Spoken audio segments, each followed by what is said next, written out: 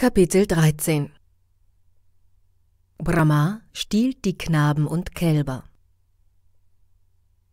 Shukadev Goswami war sehr erfreut, als Maharaj Parikshit ihn fragte, warum die Kuhhirtenjungen erst nach einem Jahr über die Vernichtung Agasuras sprachen.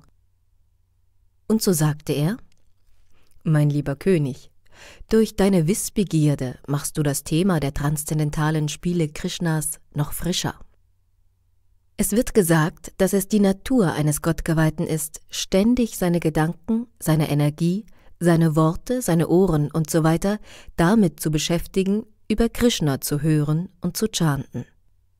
Dies wird Krishna-Bewusstsein genannt. Und jeder, der sich dem Hören und Chanten über Krishna widmet, wird diese transzendentalen Themen niemals eintönig oder alltäglich finden. Hierin besteht der Unterschied zwischen transzendentalen und materiellen Themen. Materielle Themen werden langweilig und man kann sich etwas Bestimmtes nicht lange anhören, sondern verlangt schnell nach Abwechslung. Themen mit transzendentalem Inhalt hingegen werden Nityanava Navayanama genannt. Das bedeutet, dass man fortwährend ohne zu ermüden über den Herrn hören und chanten kann und dabei immer begierig wird, noch mehr über ihn zu erfahren. Es ist die Pflicht des spirituellen Meisters, dem wissbegierigen und ernsthaften Schüler alle vertraulichen Dinge zu offenbaren, und so begann Shukadev Goswami zu erklären, warum die Einwohner von Vrindavan ein Jahr lang nicht über die Vernichtung Agasuras sprachen. Shukadev Goswami sagte zu dem König, Bitte höre aufmerksam zu, während ich dir dieses Geheimnis enthülle. Nachdem Sri Krishna seine Freunde aus dem Rachen Agasuras gerettet und den Dämon getötet hatte, führte er sie alle ans Ufer der Yamuna und sagte, Seht nur, liebe Freunde, wie gut dieser Platz zum Mittagessen geeignet ist und wie schön man auf dem weichen, sandigen Ufer der Yamuna spielen kann. Die Lotusblumen stehen in voller Blüte und erfüllen die ganze Umgebung mit einem herrlichen Duft. Das Zwitschern der Vögel, das Rufen der Pfauen und das Rauschen der Blätter antworten einander und machen diesen schönen Ort hier unter den Bäumen noch lieblicher. Lasst uns also an diesem Ort zu Mittag essen. Denn es ist bereits spät und wir alle sind hungrig. Wir behalten die Kälber in unserer Nähe, wo sie vom Wasser der Yamuna trinken können, und während wir unser Mittagessen einnehmen, lassen wir sie im saftigen Gras, das hier wächst, weiden. Als die Jungen Krishnas Vorschlag hörten, stimmten sie freudig zu und sagten, Oh ja, lasst uns hier Rast machen und zu Mittag essen. Sie ließen die Kälber frei herumlaufen, so dass diese sich am frischen Gras erfreuen konnten. Und nachdem sich alle Kuhhirtenjungen um Krishna herum niedergesetzt hatten, öffneten sie ihre Brotbeutel, die sie von zu Hause mitgebracht hatten. Sri Krishna saß in der Mitte seiner Freunde, die ihm alle ihr Gesicht zugewandt hatten. Und während sie aßen, genossen sie es, den Herrn von Angesicht zu Angesicht sehen zu können. Krishna glich dem Zentrum einer Lotusblume, und die Knaben umgaben ihn wie die Blütenblätter. Sie sammelten Blumen, Blätter und Baumrinde und legten ihre Picknickbeutel darauf und so begannen sie, in Krishnas Gemeinschaft zu Mittag zu essen. Während des Essens entfaltete jeder der Jungen seine ihm eigene Beziehung zu Krishna. Und so tauschten sie in einer vergnügten Stimmung gegenseitig scherzende Worte aus. Krishna hatte seine Flöte in den Gürtel geschoben, und in der linken Seite seines Gewandes steckten das Büffelhorn und der Hirtenstab.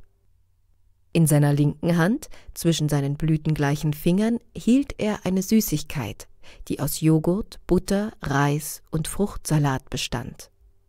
Die höchste Persönlichkeit Gottes, der Genießer der Ergebnisse aller Opfer, lachte und scherzte, während er mit seinen Spielgefährten im Wald von Vrindavan das Mittagessen genoss. Die ganze Zeit über hatten die Halbgötter vom Himmel aus diese Szene mitverfolgt doch die Kuhhirtenjungen waren einfach in die transzendentale Ekstase der Gemeinschaft mit der höchsten Persönlichkeit Gottes vertieft. Unterdessen betraten die Kälber, die in der Nähe weideten, den tiefen Wald, angelockt von den frischen Gräsern, die dort wuchsen. Sie verschwanden allmählich aus der Sichtweite, und als die Jungen plötzlich bemerkten, dass die Kälber verschwunden waren, erschraken sie sehr und riefen Krishna. Krishna ist der Vernichter der personifizierten Furcht, vor der sich jeder fürchtet. Die Furcht selbst jedoch fürchtet sich vor Krishna. Als die Jungen Krishna riefen, überwanden sie daher sofort ihre Furcht. Weil Krishna seinen Freunden sehr zugetan war, wollte er nicht, dass sie mit dem Essen aufhörten, um nach den Kälbern zu suchen. Und so sagte er, Meine lieben Freunde, ihr braucht eure Mahlzeit nicht zu unterbrechen. Esst ruhig weiter, ich werde mich selbst um die Kälber kümmern. Und so machte er sich auf, um die Kälber zu suchen. Er hielt überall in den Wäldern und Berghöhlen nach ihnen Ausschau, doch er konnte sie nirgends finden. Als die Halbgötter mit Staunen sahen, wie Agasura von Krishna getötet wurde, kam auch Brahma herbei, der auf dem Lotus geboren worden war, der aus Vishnus Nabel wächst. Es überraschte ihn sehr, wie ein so kleiner Junge wie Krishna derartige Heldentaten vollbringen konnte. Obwohl Brahma zu Ohren gekommen war, dass der kleine Kuhhirtenjunge die höchste Persönlichkeit Gottes sei, wollte er noch großartigere Spiele von ihm sehen. Aus diesem Grund stahl er alle Kälber und Kuhhirtenjungen und brachte sie in ein Versteck. Sri Krishna konnte daher trotz emsigen Suchens die Kälber nicht finden, und als er ans Ufer der Yamuna zurückkehrte, wo er alle seine Freunde zurückgelassen hatte, musste er feststellen, dass auch sie verschwunden waren. Krishna war in seiner Form als Kuhhirtenjunge im Vergleich zu Brahma winzig klein, doch weil er die höchste Persönlichkeit Gottes ist, wusste er sofort, dass die Kälber und Knaben von Brahma gestohlen worden waren. Er sagte sich, Brahma hat meine Freunde und Kälber entführt, doch ich kann unmöglich ohne sie nach Vrindavan zurückkehren. Ihren Müttern würde vor Kummer das Herz brechen.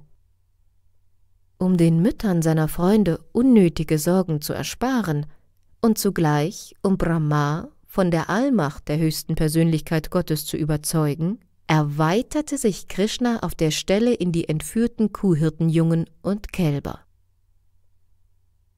In den Veden wird gesagt, dass sich die höchste Persönlichkeit Gottes durch seine spirituelle Energie in unzählige Lebewesen erweitert. Deshalb war es für ihn nicht weiter schwierig, sich auch noch in die vielen Jungen und Kälber zu erweitern. Er nahm das genaue Aussehen der Jungen an, die alle von unterschiedlicher Gestalt waren, verschiedenartige Gesichter und Körper hatten und sich auch in ihren Gewändern, ihrem Schmuck und ihrem Verhalten voneinander unterschieden. Mit anderen Worten, jedes Lebewesen besitzt unterschiedliche Neigungen, denn jedes ist eine individuelle Seele und unterscheidet sich in seinem Tun und Verhalten von anderen.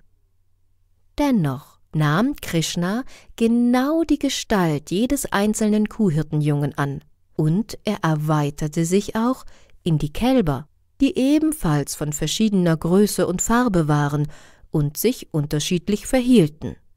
All dies war nur deshalb möglich, weil alles Existierende von Krishna ausgeht.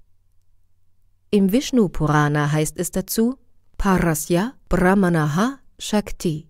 Alles, was wir in der kosmischen Manifestation sehen, seien es Materie oder seien es die Handlungen der Lebewesen, ist nichts anderes als eine Erweiterung der Energien des Herrn, die von ihm ausgehen wie Licht und Wärme und Feuer.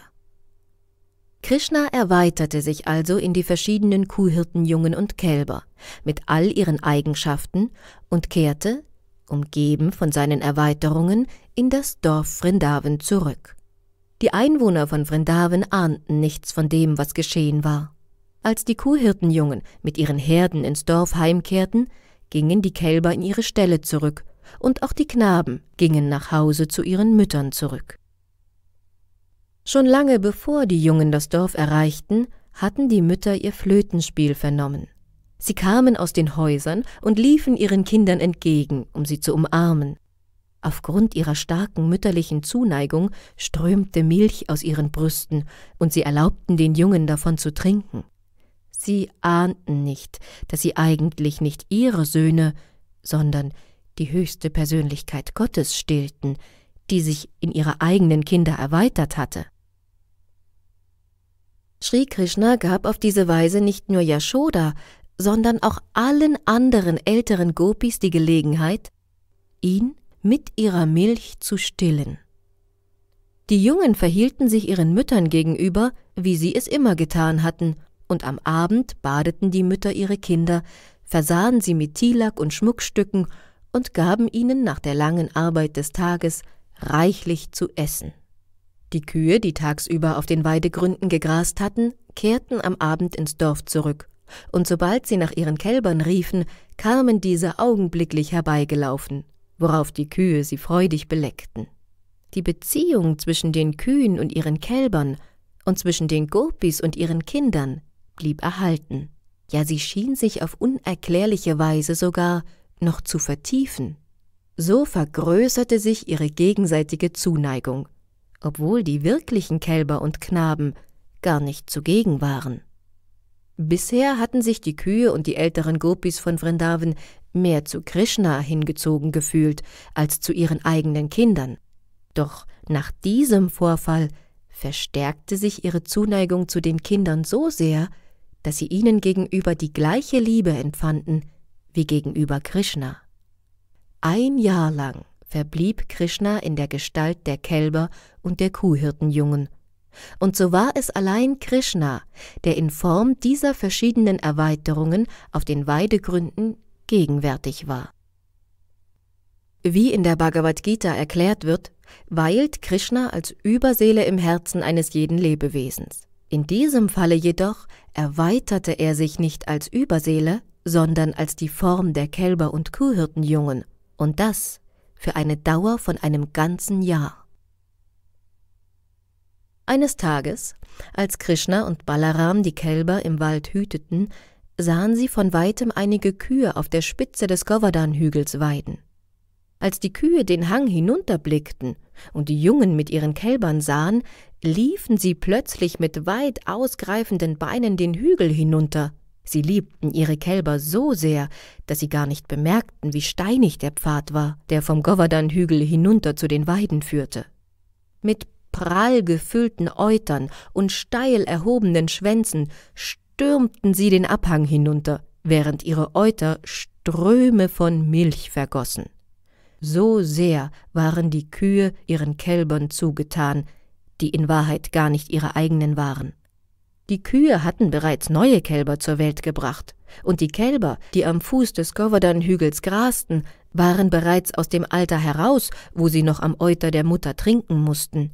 Dennoch liefen all die Kühe direkt auf die Kälber zu und begannen sie zu belecken, während die Kälber ihrerseits die Milch aus den Eutern ihrer Mutter saugten. Zwischen den Kühen und den Kälbern bestand offensichtlich eine ungewöhnlich starke, liebevolle Beziehung. Als die Kühe von der Höhe des Govardhan-Hügels hinunterrannten, versuchten die Hirten sie aufzuhalten. Die älteren Kühe waren nämlich von den Männern bewacht und die Knaben kümmerten sich um die Kälber. Die Kälber werden so weit wie möglich von den Kühen getrennt gehalten, damit sie nicht deren Euter leer trinken, und deshalb versuchten die Männer auf dem Govardhan-Hügel, ihre Tiere zurückzuhalten. All ihre Bemühungen waren jedoch vergebens. Und so blieb ihnen nichts anderes übrig, als hinab ins Tal zu gehen, um die Tiere zurückzuholen. Beschämt und ärgerlich machten sie sich auf den Weg. Doch als sie dann am Fuß des Hügels ankamen und ihre Kinder bei den Kälbern sahen, regten sich in ihnen plötzlich tiefe Gefühle der Liebe. Dies war recht erstaunlich, denn obgleich die Männer aufgrund ihres missglückten Versuches, die Kühe zurückzuhalten, enttäuscht und verdrossen den Hügel hinuntergekommen waren, schmolzen ihre Herzen in großer Zuneigung beim Anblick ihrer Söhne. Ihre Unzufriedenheit und ihr Missmut verflogen im Nu, und mit väterlicher Liebe nahmen sie ihre Kinder in die Arme, drückten sie an sich und sogen den Duft ihrer Köpfe ein. Einfach indem sie mit ihren Kindern zusammen waren, fühlten sie eine überwältigende Freude. Nach dieser Liebkosung trieben die Männer die Kühe auf den Govardhan-Hügel zurück. Und als sie an ihre Kinder dachten, traten ihnen Tränen der Zuneigung in die Augen. Balaram, der diesen ungewöhnlichen Austausch von Zuneigung zwischen den Kühen und ihren Kälbern sowie zwischen den Vätern und ihren Söhnen beobachtete, obwohl eigentlich weder die Kälber noch die Kinder eine derart große Umsorgung benötigten, suchte er nach einer Erklärung für dieses außerordentliche Verhalten. Es wunderte ihn, dass die Einwohner von Vrindavan eine ebenso große Zuneigung für ihre Kinder wie für Krishna empfanden, und dasselbe ließ sich bei den Kühen und ihren Kälbern feststellen. Balaram vermutete, dass diese außergewöhnliche Offenbarung von Zuneigung eine geheimnisvolle Ursache haben musste, die entweder auf einen Halbgott oder auf irgendeinen machtvollen Menschen zurückzuführen war. Wie sonst hätte diese wundersame Veränderung stattfinden können? So kam Balaram zu der Überzeugung, dass diese mystische Wandlung nur Krishna zur Ursache haben konnte, den er als seinen verehrungswürdigen Herrn, die höchste Persönlichkeit Gottes, betrachtete. Er sagte sich, all diese Vorfälle wurden von Krishna gelenkt, und nicht einmal ich konnte seine mystischen Kräfte durchschauen. Auf diese Weise konnte Balaram verstehen, dass die Knaben und die Kälber Erweiterungen Krishnas waren. Balaram wandte sich an Krishna, um die wahren Zusammenhänge zu erfahren, und deshalb sagte er Mein lieber Krishna, Anfangs dachte ich, die Kälber und Kuhhirtenjungen seien entweder große Heilige und Weise oder Halbgötter. Doch jetzt bin ich der Ansicht, dass sie deine Erweiterungen sind. Sie alle sind du. Du selbst spielst die Rolle der Kälber und Knaben. Welches Geheimnis verbirgt sich dahinter? Wo sind die ursprünglichen Kälber und Knaben? Und warum hast du dich erweitert und trittst an ihrer Stadt auf. Bitte erkläre mir dies alles. Auf diese Bitte Balarams hin schilderte Krishna in kurzen Worten, wie die Kälber und die Knaben von Brahma gestohlen wurden und wie er sich erweiterte, um diesen Vorfall absichtlich zu verheimlichen, so dass die Dorfbewohner nicht bemerken würden, dass die ursprünglichen Kälber und Kuhhirten verschwunden waren. Während sich Krishna und Balaram unterhielten, kehrte Brahma nach Vrindavan zurück nachdem er, gemessen an seiner Lebensdauer, für einen Augenblick fort gewesen war. In der Bhagavad Gita finden wir folgende Information über die Lebensdauer Brahmas. Zwölf Stunden in Brahmas Leben bestehen aus vier Zeitaltern, multipliziert mit tausend, also aus 4.300.000 mal 1000 Jahren. Ein Augenblick in Brahmas Leben entspricht somit einem unserer Sonnenjahre. Nachdem also nach Brahmas Zeitrechnung ein Augenblick verstrichen war, kehrte er zurück, um die Verwirrung zu sehen, die er durch die Entführung der Kälber und Knaben verursacht hatte. Doch zur gleichen Zeit hatte er auch Angst, denn er wusste, dass er mit Feuer spielte. Krishna war sein Herr, und er hatte sich einen schlechten Scherz mit ihm erlaubt, als er seine Kälber und Freunde entführte. Er hatte tatsächlich große Angst und wagte es deshalb nicht lange fortzubleiben, sondern kehrte, gemäß seiner eigenen Zeitrechnung, schon nach einem Augenblick wieder zurück. Doch zu seinem großen Erstaunen sah er, dass alle Kälber und Hirtenjungen immer noch da waren und genau so mit Krishna spielten, wie sie es getan hatten, als er sie das erste Mal sah. Er hätte schwören können, dass er sie entführt und durch seine mystischen Kräfte in Schlaf versetzt hatte, und so dachte er, all diese Knaben und Kälber habe ich doch entführt, und ich bin mir ganz sicher, dass sie immer noch fest schlafen. Wie ist es dann möglich, dass hier die gleiche Gruppe von Hirtenjungen und Kälbern mit Krishna spielt? Hat meine mystische Kraft etwa keinen Einfluss auf sie? Und wurde ihr Spiel im vergangenen Jahr wirklich gar nicht unterbrochen? Brahma versuchte zu verstehen, wer die Kuhhirtenjungen waren und wie es möglich war, dass sie nicht von seiner mystischen Kraft beeinflusst wurden. Doch trotz allen Nachdenkens konnte er die Ursache nicht herausfinden. Mit anderen Worten, er wurde ein Opfer seiner eigenen mystischen Kräfte. Die Macht von Brahmas mystischen Kräften erschien genau wie das Leuchten von Schnee in der Dunkelheit oder eines Glühwürmchens am Tage. Nachts, wenn es dunkel ist, mag ein Glühwürmchen leuchten, und am Tage mag Schnee, der auf einem Hügel oder auf einer Wiese liegt, im Sonnenlicht hell glänzen. Doch tagsüber hat ein Glühwürmchen keine Leuchtkraft, und der Schnee verliert in der Nacht jeglichen silbrigen Glanz. Ebenso verhielt es sich auch mit der mystischen Kraft Brahmas, als er sie vor der Allmacht Krishnas entfaltete. Sie glich Schnee in der Nacht oder einem Glühwürmchen am Tag. Wenn jemand mit geringen mystischen Kräften seine Macht in der Gegenwart einer großen Persönlichkeit mit größeren mystischen Kräften zeigt, vermindert er lediglich seine eigenen Kräfte. Er kann sie niemals vergrößern. Selbst eine so bedeutende Persönlichkeit wie Brahma machte sich nur lächerlich, als er seine mystische Kraft in der Gegenwart Krishnas entfalten wollte. Brahma wurde auf diese Weise durch seine eigenen mystischen Kräfte verwirrt. Krishna wollte Brahma davon überzeugen, dass die Kälber und die Knaben, die nun mit ihm spielten, nicht die ursprünglichen waren, und so verwandelten sich die Knaben und die Kälber in Vishnu-Formen. In Wirklichkeit schliefen die ursprünglichen Knaben und Kälber immer noch unter dem Zauber Brahmas mystischen Kräften. Die Kälber und Knaben jedoch, die Brahma vor sich sah, waren direkte Erweiterungen Krishnas oder Vishnus. Vishnu ist eine Erweiterung Krishnas, und diese Vishnu-Formen erschienen nun vor Brahma. Alle Vishnus hatten eine blaue Körpertönung und waren in gelbe Gewänder gekleidet. Sie hatten vier Arme, und in ihren Händen hielten sie Feuerrad, Lotus, Keule und Muschelhorn. Sie trugen funkelnde, mit Juwelen besetzte Helme, und sie waren mit Perlen und Ohrringen geschmückt und mit prächtigen Blumengirlanden bekränzt. Auf ihrer Brust befand sich das Shivatsa-Zeichen, und ihre Arme wurden von Armreifen und anderen Schmuckstücken geziert. Ihr Hals war so glatt wie eine Muschel.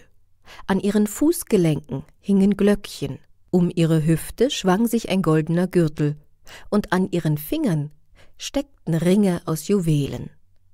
Brahma sah ebenfalls, dass über den ganzen Körper Sri Vishnus, von seinen Lotusfüßen bis zum Kopf, frische Tulasi-Knospen gestreut waren.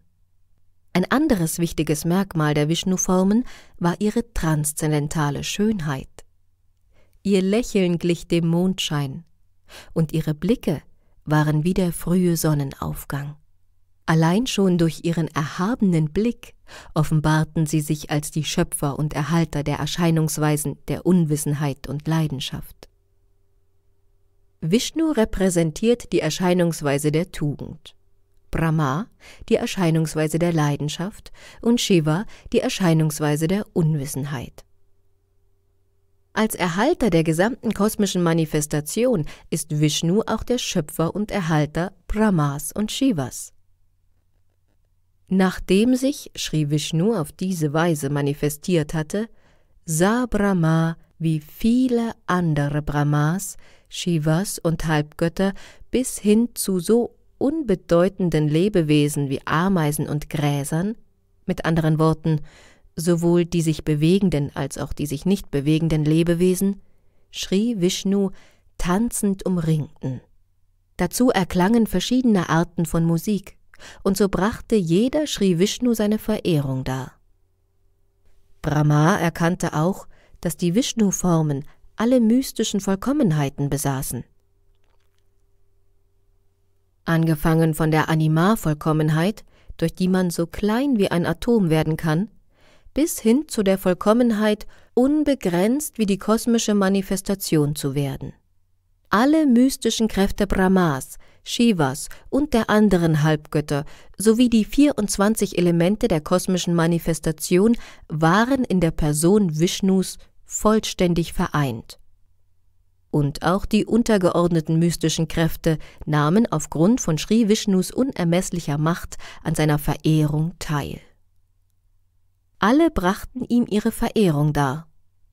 Die Zeit, der Raum, die kosmische Manifestation, die Kraft der Erneuerung, die Wünsche, die Aktivitäten und die drei Erscheinungsweisen der materiellen Natur.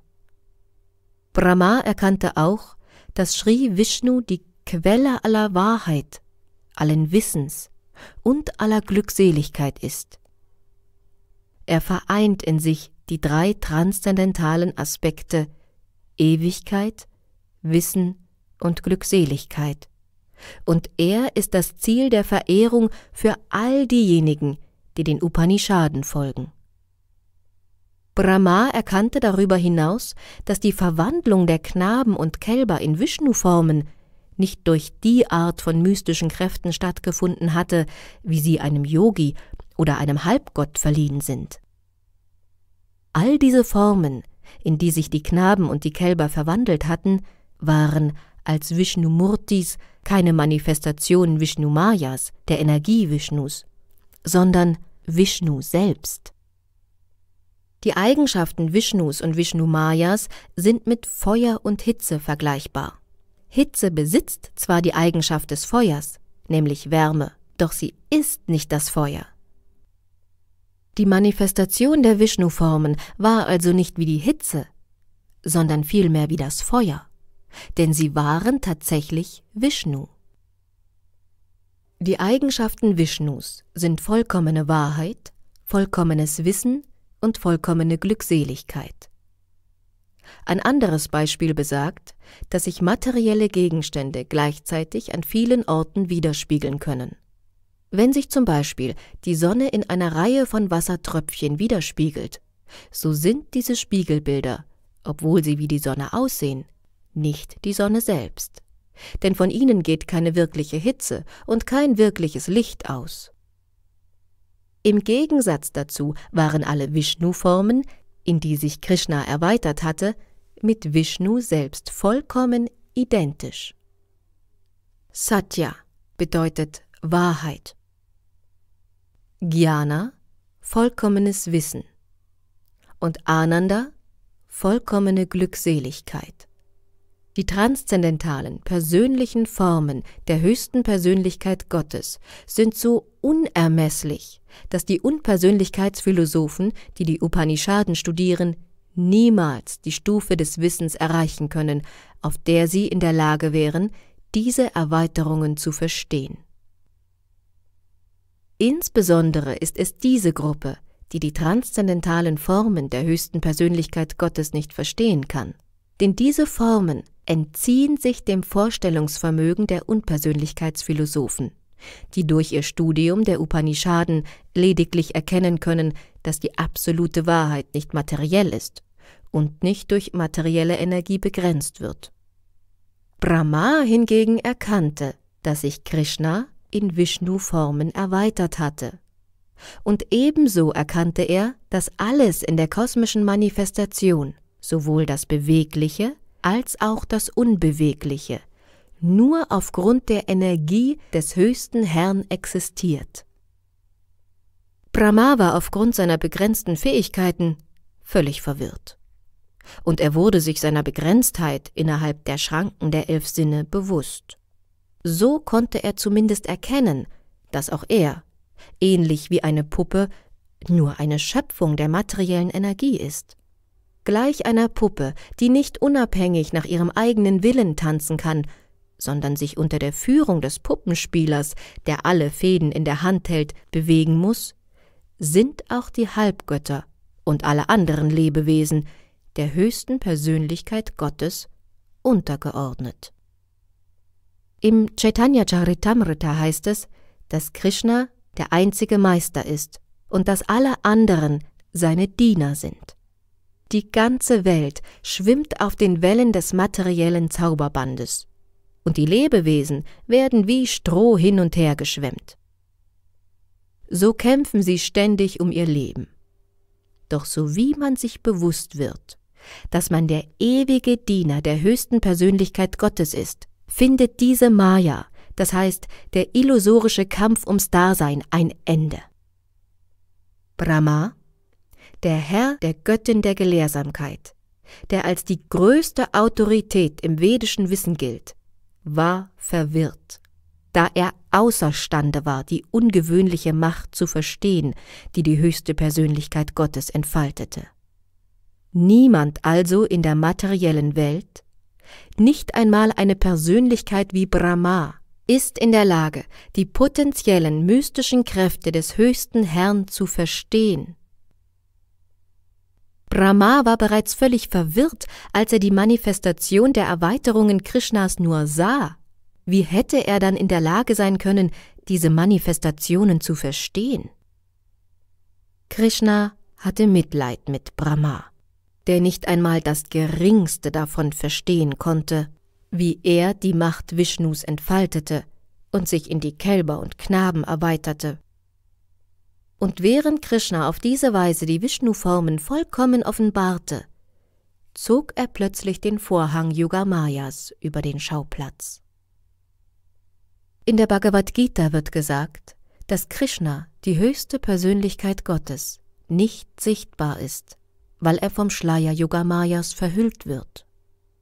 Der Schleier der die Realität verhüllt, wird als Mahamaya bezeichnet, die äußere Energie, die es der bedingten Seele nicht erlaubt, die höchste Persönlichkeit Gottes, die sich jenseits der kosmischen Manifestation befindet, zu verstehen.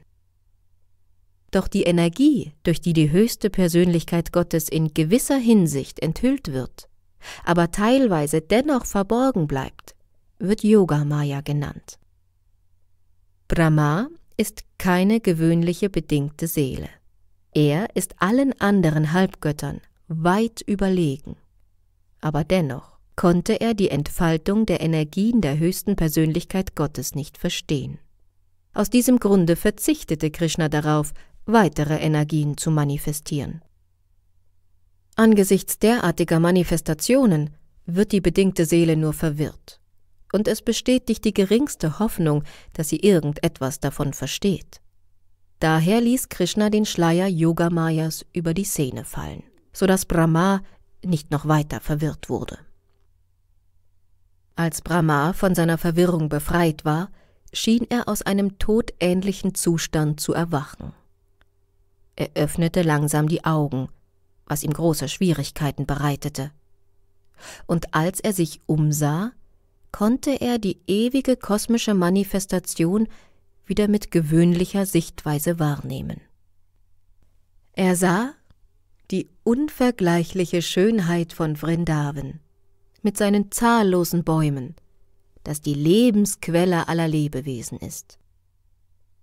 Vor seinen Augen breitete sich das ganze heilige Land von Vrindavan aus, wo alle Lebewesen transzendental zur gewöhnlichen Natur sind. Im Wald von Vrindavan leben selbst wilde Tiere, wie Tiger, friedlich mit den Rehen und den Menschen zusammen. Er konnte verstehen, dass Vrindavan aufgrund der Anwesenheit der höchsten Persönlichkeit Gottes transzendental zu allen anderen Orten ist und dass dort weder Lust noch Gier zu finden sind. Auf diese Weise erblickte Brahma Sri Krishna die höchste Persönlichkeit Gottes, der die Rolle eines gewöhnlichen Kuhhirtenjungen spielte.